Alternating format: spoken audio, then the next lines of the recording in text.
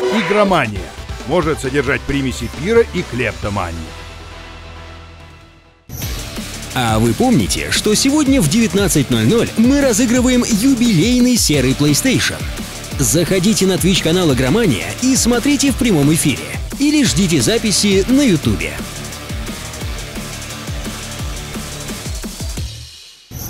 С вами «Итоги недели». Программа обо всем самом интересном, что случилось в индустрии за истекшие 7 дней. Смотрите в этом выпуске.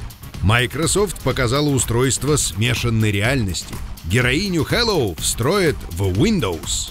Sony представила курсы PlayStation.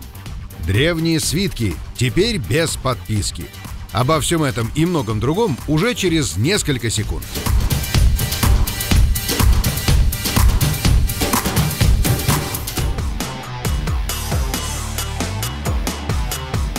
Главная новость индустрии на этой неделе. 21 января в Сиэтле прошла презентация Microsoft Windows 10. Новая операционная система совместит в себе все лучшее, что есть в семерке и восьмерке. К примеру, вернется привычное меню «Пуск», но оно будет совмещено с новым плиточным интерфейсом, и спорить о том, как удобнее, станет попросту незачем. Проапгрейдиться до новой системы, кстати, можно будет совершенно бесплатно в течение года после ее релиза. Но куда интереснее то, что Microsoft анонсировала систему HoloLens — голографический шлем, который способен накладывать на мир вокруг человека искусственно созданную реальность. Показанное видео выглядит словно кадры фантастического киберпанка. В нем люди ходят по Марсу, не покидая кабинетов, ремонтируют сантехнику, пользуясь в качестве помощи нарисованными в воздухе стрелками и пробивают в стенах отверстия в кубические миры. В ролике шлем показан лишь издали и без подробностей, лишь в виде концепта. Но Microsoft специально собрала прессу с анонса Windows 10 в Редмонде и под большим секретом продемонстрировала рабочее устройство в действии. Отзывы таковы. Microsoft HoloLens выглядит как прототип, и до его выхода на рынок еще очень далеко. Однако эффект есть, изображение есть, и шлем создает удивительно правдоподобное сочетание настоящего и виртуального миров. Прессу пустили походить по Красной планете, они чинили розетку с виртуальными подсказками и видели, как трехмерные модели лепят прямо в воздухе. Управляется шлем голосом, взглядом и жестами. По отзывам журналистов, иллюзия очень плотно заслоняет мир. Через картинку пробиваются только его самые яркие элементы, такие как блики и отражения.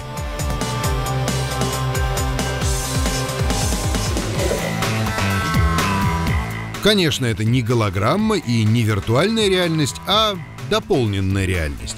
Или, как ее называют в Microsoft, смешанная реальность. Разработчики получат возможность пощупать ее руками уже этой весной. В отличие от обычных и уже знакомых головных шлемов Rift и Morpheus, в отличие от Kinect и даже от Google Glass, технология Microsoft HoloLens отчетливо показывает будущее, в котором больше нет телевизоров, нет мониторов и дисплеев, Представьте себе героев любимых игр рядом с вами в комнате. Игровая индустрия может измениться уже очень скоро, причем до неузнаваемости. Microsoft предпринимает серьезные меры безопасности, чтобы уберечь секреты HoloLens. Устройство демонстрировалось прессе в подземном бункере, расположенном под кафе, а прессе разрешали взять с собой только бумажки и ручки. И эти меры оправдались, несмотря на то, что устройство еще несколько месяцев назад по секрету показали многим журналистам, разработчикам и издателям игр, тайна продержалась до анонса. Однако теперь понятно, что информация об устройстве, хотя и небольшая, утекла еще в 2012 году в документе на 56 страниц, где рассказывалось о планах Microsoft на будущее. Среди всего прочего там упоминался проект Fortaleza Glasses Wi-Fi, устройство дополненной реальности для PC и Xbox 720. Тогда консоль еще не называли Xbox One. Ну а полтора года назад прошла новость о том, что Microsoft патентует устройство дополненной реальности для сетевых игр. Тем не менее, у устройства HoloLens, что было показано журналистам, есть важное отличие от других. Оно автономно. Это не шлем, который нужно к чему-то подключать, и не очки, для которых нужен смартфон. Это самостоятельное устройство, которое имеет достаточно мощности, чтобы рассчитать и показать в движении виртуальные голограммы.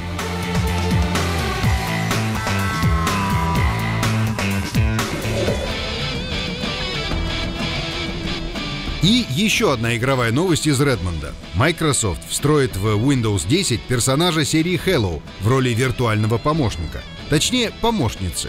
Картана, искусственный разум в женском обличье, помогавший герою с первой по четвертую часть Hello, уже был встроен в Windows Phone, чтобы стать конкурентом для Siri и Google+.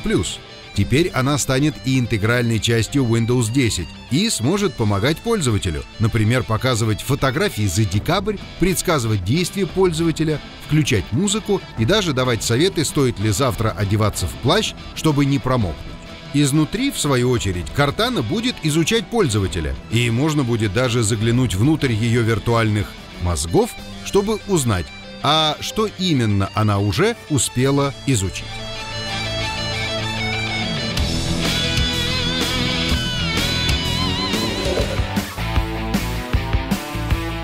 Sony показала обучение студентов на лекциях по PlayStation в Сеульском университете Сангмен. В южнокорейском блоге компания показала, как выглядит аудитория и как в ней проходят занятия. Там действительно на столах стоят консоли, а студенты пользуются на уроках не ручками и бумажками, а игровыми контроллерами и иногда рулями. Ну а лекции в них читают известные разработчики. Вряд ли среди студентов Сангмена наблюдается нехватка желающих учиться. Скорее всего, такие лекции и семинары учащиеся не прогуливают.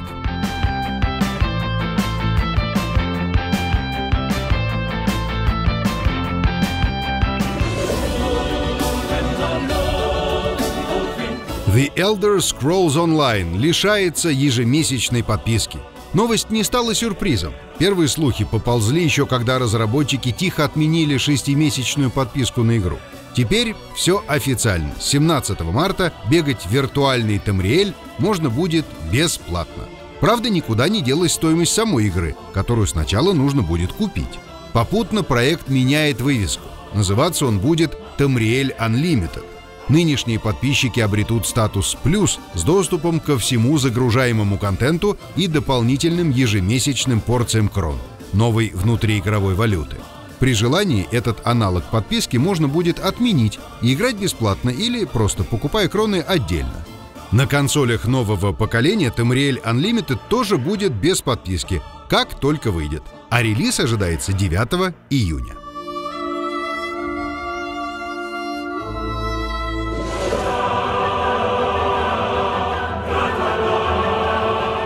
Ретро-магазин Good Old Games всерьез взялся за «Звездные войны». На неделе вышли сразу несколько цифровых релизов старых игр от LucasArts о далекой галактике, боевые симуляторы серии X-Wing, несколько стратегий и аркадная стрелялка Rogue Squadron. Все игры работоспособны на современных системах и, что немаловажно, предлагаются без защиты от копирования. И почти все они впервые выпущены в формате цифрового релиза. Судя по намекам GOG, новые «Звездные войны» на подходе. Правда, было бы еще лучше, если бы это были полноценные ремейки или хотя бы улучшенные версии.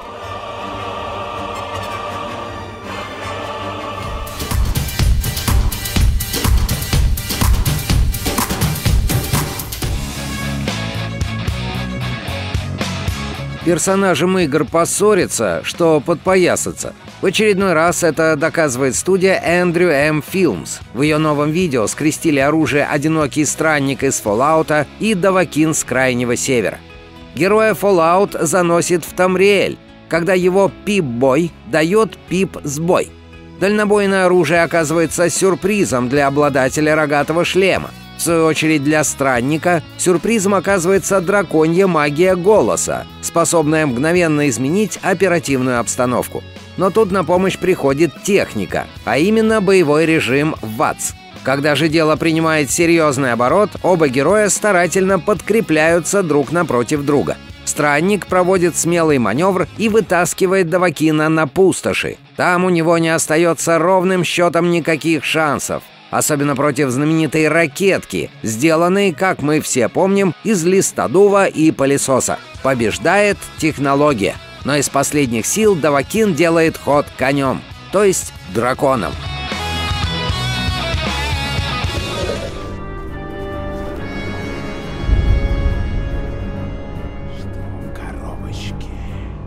Мистер Тивиков покусился на лавры Джея Джея Абрамса и снял собственную версию современного боя на лазерных мечах из «Звездных войн». Далекой галактике, на далекой планете, на заснеженной лесной опушке встречаются два воина — светлый джедай и темный ситх. На глазах у маленького пугливого Джавы они вступают в бой за неизвестное содержимое ящичка — но против тройного светового меча у джедая находится ответ. Немного поработав на конструкции своего оружия, он придает ему новую необычную форму.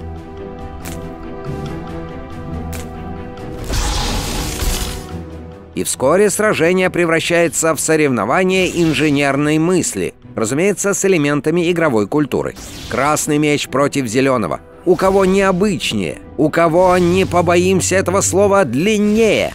Маленький Джава, забыв про все, наблюдает за тем, как бой джедаев превращается в какой-то фестиваль светового искусства. А потом говорит свое веское слово на языке Джава.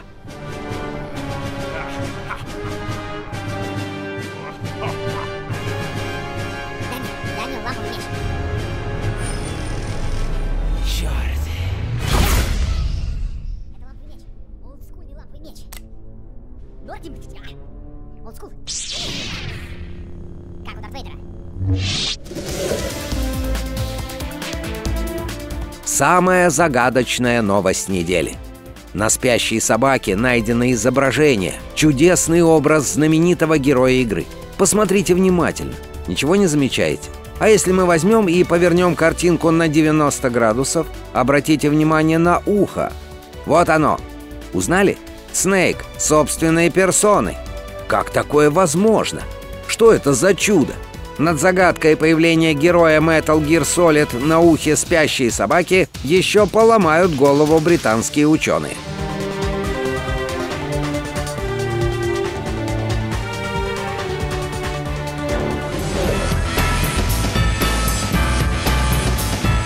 Иногда, чтобы прославиться вкладом в игровую культуру, нужно всего лишь немного стиля. Ценитель кубических миров Евгений из Саратовской области получил свою порцию славы, построив в Майнкрафте гигантского робота Бендера. 50 тысяч кубиков. 24 часа ручной ювелирной работы. Все это автор заснял на движущуюся виртуальную камеру, а потом ускорил и выложил. Получилось нечто гипнотическое. Словно по волшебству робот понемногу появляется из небытия. Нога за ногой, железная клешня за клешней, металлический корпус и в последнюю очередь голова. Бендер высотой в 250 метров попирает антенной небеса. Он сжимает в одной руке сигару, а в другой — бутылку. Спиртное ему необходимо в качестве топлива, ну а сигара придает солидности. И вот он, финальный результат.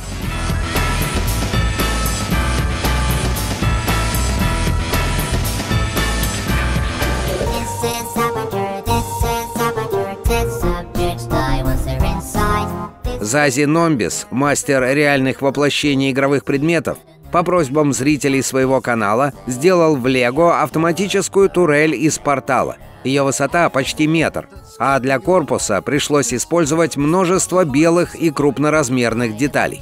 В самом центре красного глаза светодиод. Правда, конечности турели ее веса не выдерживали, так что пришлось специально приделать к конструкции колонну, для опоры и устойчивости.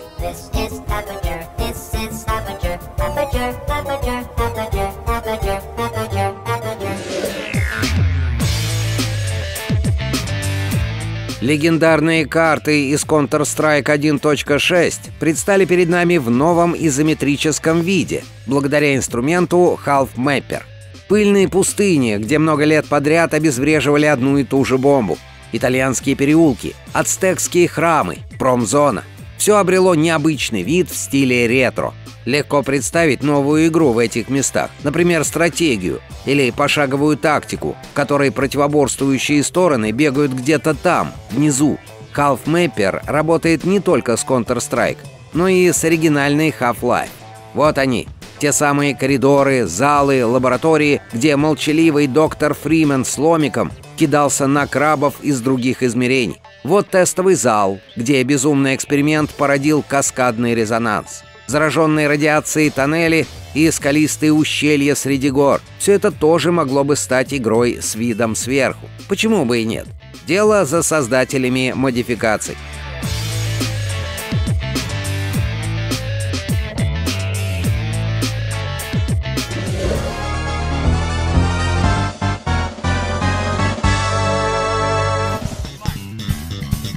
Фанаты серии Mario Kart с канала Amiigo воспроизвели в реальности боевой гоночный режим, в котором герои игры пытаются лопнуть друг у друга прицепленные к машинкам шарики. В качестве мишеней они взяли настоящие воздушные шарики, а вместо картов использовали радиоуправляемые машинки с прицепленным к каждой оружием.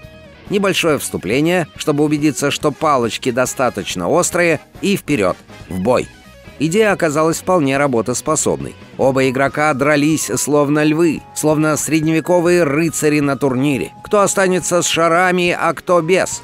Интрига сохранялась до последнего.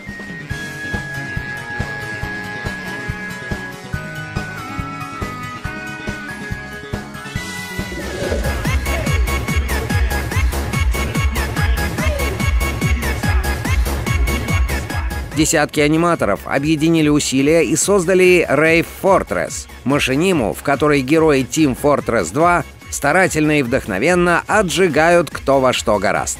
Поскольку каждый автор привнес в видео что-то свое, здесь царят безумие, пестрота и смешение стилей. От хип-хопа и танцев в стиле робота до плясок в присядку. Ну а пока герои команд Red и Blue показывают лучшие танцевальные движения, мы переходим к традиционной рубрике трейлеров.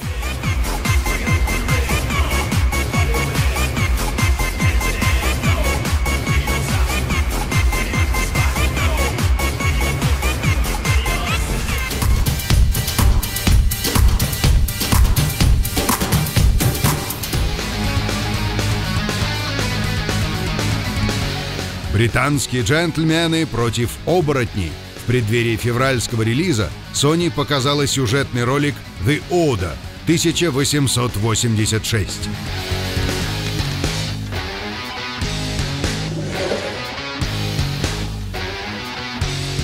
Bethesda сопроводила новости о грядущей отмене подписки на The Elder Scrolls Online кинематографическим роликом с дуэлями среди руин и подземелий.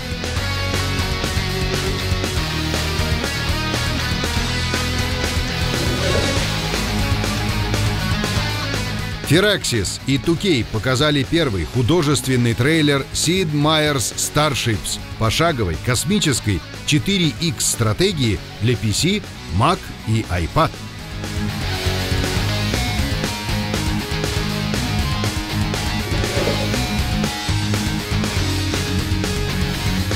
Игровой процесс дополнения Exo Zombies для Call of Duty Advanced Warfare на неделе показала Activision.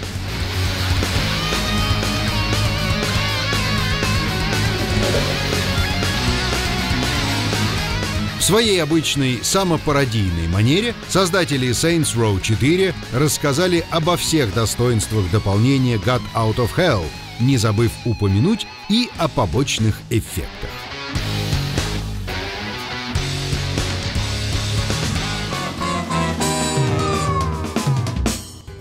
И проникают в больше мест. Вот это сильно. Проникают в больше мест. Вот Алексей просил мои комментарии. Вот он мой комментарий.